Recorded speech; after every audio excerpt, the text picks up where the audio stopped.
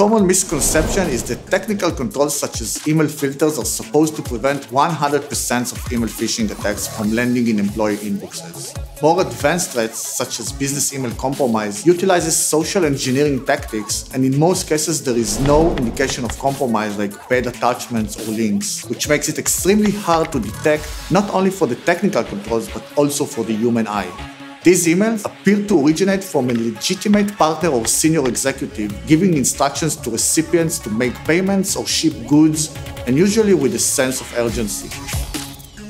IronSights protects organizations' employees from email spoofing and impersonations attempts by dynamically learning their mailbox using fingerprint technology and studying communication habits. IronSights fingerprinting technology takes into account factors like implementation level of DMARC, SPF, DKIM, sending IPs, normal communication context, and others in order to create a unique fingerprint for each sender.